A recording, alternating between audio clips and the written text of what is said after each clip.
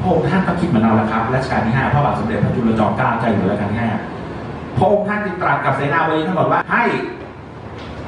ข้าราชบริพารที่เกี่ยวข้องทั้งหมด ประกาศออกมาเป็นพระราชบัญญัติธงให้ได้ เพื่อระบุรูปแบบธงที่ถูกต้องนี่แหละครับ เล่นอยู่หน้าอันนี้แหละที่ผมอยู่บนกระดานที่ให้ท่านเห็นเนี่ยนะครับ เรียกว่าพระราชบัญญัติว่าด้วยแบบอย่างธงสยามรัตนโกสินทร์ศก110 ก็คือออกมาในปีที่ 110 แห่งกรุงรัตนโกสินทร์ลำดับที่ 13 กล่าวว่าธงชาติสยามเป็นรูปช้างเผือกเปล่าพื้นแดงเปล่าคืออะไรครับฮะเปลือยใช่ บางคนเรียกช้างเผือกปล่อยนะก็คือไม่ทรงเครื่องไม่ยืนแท่นแต่โตขาวจุ้เลยนั่นแหละใช้ในเรือกำปั่นแลเรือทั้งหลายของพ่อค้าเรือกำปั่นและเรือต่างของไพรเวทไพรเวทก็คือ ไพรเวทก็คือพวกเราอะไพรเวทอะไพรเวทอะใช่ไหมทั่วไปในชาวสยาม อันนี้ผมย้ำอีกทีนะ เราเริ่มประกาศใช้ธงช้างเผือกตามรูปแบบที่ถูกต้องเนี่ยที่ปรากฏเนี่ยก็คือข้อที่ 13 อยู่ในพระราชบัญญัติธงที่ผมโชว์เมื่อกี้นั่นนะครับ ก็คือรัตนโกสินทร์ศก110 พระราชบัญญัติว่าด้วยแบบอย่างธงสยามใช่ไหมแล้วก็ใช้มาจนกระทั่งถึงรัชกาลที่ 6 ครับ ได้มีการออกพระราชบัญญัติธงครั้งสุดท้ายคือ129 ข้อ 19 ก็ยังคงใช้ธงช้างเผือกเป็นธงชาติสยามเหมือนเดิมนะนะตอนต้นแล้วตอนนี้เนี่ยคือต้นต้นรัชกาลที่หกเลยนะเพราะฉะนั้นเราใช้ธงช้างเผือกเนี่ยรัชกาลที่สามรัชกาลที่สี่รัชกาลที่ห้าแล้วก็ต้นพระบาทสมเด็จพระมงกุฎเกล้าเจ้าอยู่หัวรัชกาลที่หกนะ จนกระทั่งจนกระทั่งอ่านี่คือหลักฐานนะครับข้อสิบเก้าจนกระทั่งเรื่องนี้ครับ ได้เกิดสงครามโลก ถ้าเราใช้ธงช้างเผือกเป็นธงชาติสยามในขณะที่ประเทศต่างๆเกิดการสู้รบเนี่ยนะ แล้วช้างมันเห็นชัดไหมอะเวลามองไกลๆอะสมมติกำลังเข้าคลองสุเอตหรือคลองไกลๆไปค้าขายกับเราเนี่ยดูก็เป็นตัวอะไรก็ไม่รู้นะพระองค์ท่านก็เลยเนี่ยออกประกาศว่า ถ้าเกิดอย่างนั้นฟังดีๆนะครับ ตอนนี้เป็นไทม์ไลน์ที่สำคัญมากนะครับ ท่านเริ่มมีการประกาศว่าเรา เรื่องเปลี่ยนธงสำหรับชาติสยาม 8 พฤษภาคมถึง 6 มิถุนายน 2459 นี่ครับ จุดนี้เริ่มต้นขึ้นแล้ว เอ๊ะ ยังไงนะ เพราะอะไร ตรงนี้ชัดเจนที่สุดนะครับว่าจะนำเรื่องซึ่งมีพระราชบัญญัติที่จะเปลี่ยนแปลงธงสำหรับชาติสยามไปทูลหาลือนะครับไปทูลหาลือ และสิ่งที่ตามมาก็คือ พระองค์ท่านต้องการที่จะกำหนดกฎเกณฑ์ให้มีธงค้าขายครับพูดง่ายๆก็คือว่าพระองค์ท่านเริ่มส่งซิกแล้วว่าเลิกใช้ธงช้าง เพราะว่าธงช้างทำยาก แล้วเวลาถ้าเราเดินเรือไปต่างประเทศนะครับ รูปช้างที่ไม่สวยไม่งามเนี่ย มันแสดงถึงอะไรครับ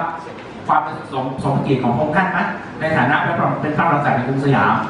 ไม่เลย นะครับ สิ่งที่ตามมาคือนี่ครับ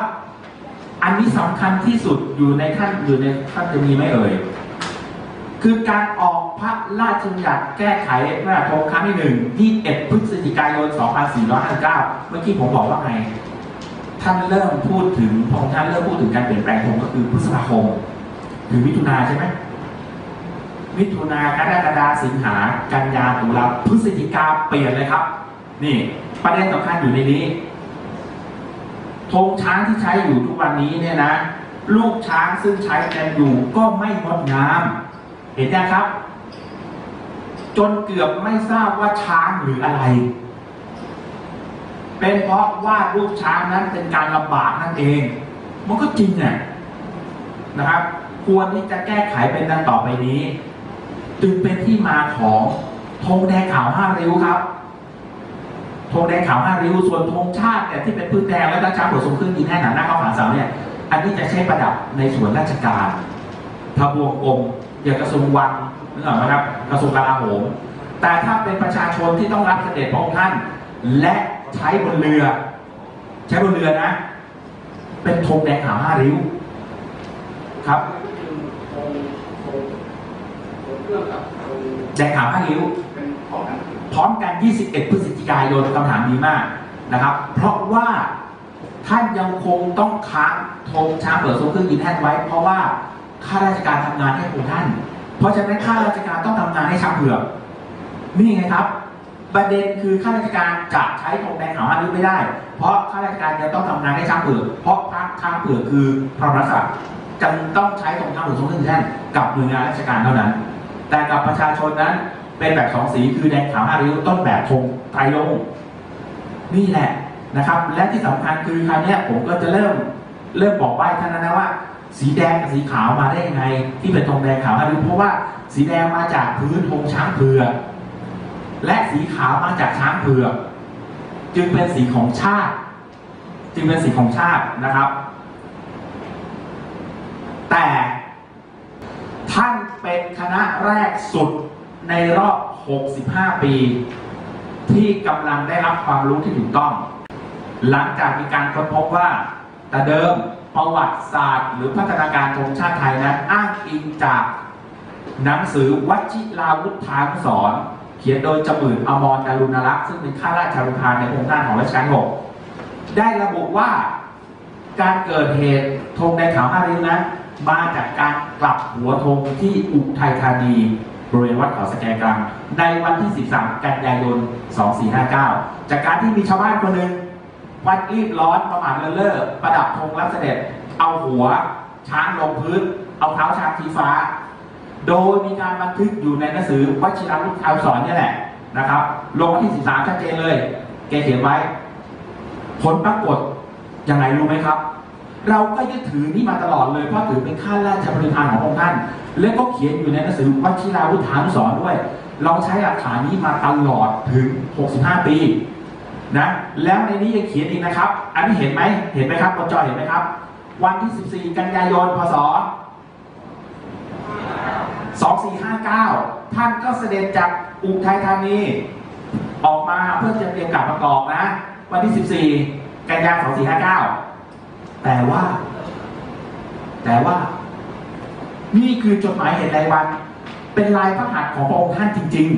ๆ ได้ระบุว่าวันที่ 14 กันยายนทำอะไรครับ อ่านให้ผมฟังนิดนึงอ่า อ่า ไปลงเรือที่ท่าวาสุกรี เพื่อที่จะไปบางปะอินในขณะที่จะเมินอมรดารุณรักษ์บันทึกว่าวันที่ 14 จะกลับจากอุทัยพระองค์ท่านใช้ลายหัตถ์เขียนของพระองค์ท่านเองเลยว่าวันที่14ออกจากบางกอกไปลงที่ท่าวาสุกรีจะไปบางปะอิน แสดงว่าเรื่องการกลับธงธงกลับหัววันที่13ไม่จริงถูกต้องครับ ไม่จริงนะครับ ไม่มีผลใดๆต่อการเปลี่ยนแปลงรูปแบบหรือพัฒนาการธงชาติไทยหรือธงชาติสยามเลย จะต้องใช้การนั่งอิงจากพรบเท่านั้นที่ว่า ที่ว่า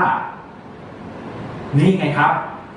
และลูกช้างก็ไม่งามจนเกือบไม่ทราบว่าช้างหรืออะไร เป็นเพราะว่าลูกช้างนั้นเป็นการระบาดนั่นเอง สรุปการเปลี่ยนธงเกิดจากการวาดรูปช้างลำบากไม่ได้เกิดจากการกลับหัวธงตามที่จมื่นอมรดารุณรักษ์บันทึกไว้ เพราะนั่นเป็นเอกสารที่คลาดเคลื่อนจากความเป็นจริงนะ เพราะฉะนั้นท่านเป็นคณะแรกนะครับ เพราะฉะนั้นถ้าเกิดมีผู้ที่มาฟังท่านท่านเป็นวิทยากรเครือข่ายใช่ไหมครับถามท่านตรงๆว่าอ้าวแล้วตกลงธงแดงขาวห้าริ้ว เกิดจากอะไรกันแน่ครับเกิดจากอะไรกันแน่ครับ ไม่ได้เกิดจากธงช้างกับหัว เกิดจากอะไรครับ แล้วเราเลิกใช้ธงช้างก็เพราะว่านี่ครับ แลลูกช้างซึ่งใช้กันอยู่นั้นไม่งดงามนะท่านพยายามจะถ้าท่านเป็นเรื่องความจริงท่านต้องจำคำนี้ให้แม่นนะนะครับ เพราะมันบันทึกอยู่ใน ราชกิจจานุเบกษา ลงวันที่ 26 พฤศจิกายน 249 แต่พรบออก 21 พฤศจิกายน 249 จนเกือบไม่ทราบว่าช้างหรืออะไรอะ คือบางคนว่าอะไรไม่รู้ เป็นก้อนๆ เป็นเพราะว่าลูกช้างนั้นเป็นการระบาดจึงต้องมีการแก้ไข จึงเป็นที่มาของธงแดงขาวอายุไม่มีเรื่องของกับหัวเลย นะ ชัดเจนนะครับจะมือบันทึก 14 กันยา 2459 จะกลับจากอุทัย ท่านบันทึกเอง 14 กันยา 2459 นี่ 2459 จะไปบางปะอินเพราะฉะนั้นเราเข้าใจใหม่นะครับ เราเข้าใจใหม่เราต้องอิงจากลายพระหัตถ์ของพระองค์ที่อยู่ในจดหมายเหตุรายวันครับ โชคดีของคนไทยที่ลายจดลายของพระองค์ท่านยังอยู่ในการบันทึกนี้อยู่นะครับถ้าไม่มีบันทึกนี้ เราคงหลงเชื่อในเรื่องที่คลาดเคลื่อนอีกยาวนาน